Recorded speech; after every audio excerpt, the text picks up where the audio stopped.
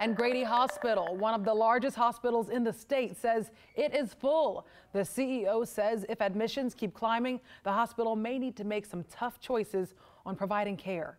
Health officials say virtually every single hospital in the state is dealing with an unprecedented need for hospitalizations because of the virus. And right now, more than 90% of ICU beds in Georgia are at full capacity. That's why they started to send patients to Georgia World Congress Center as of January 1st. They aren't just lacking space, they're short on staff as well. And all of this is happening as hospitals try to juggle vaccinating their staff and the CEO says the vaccine gives hope, but only if people are willing to get it.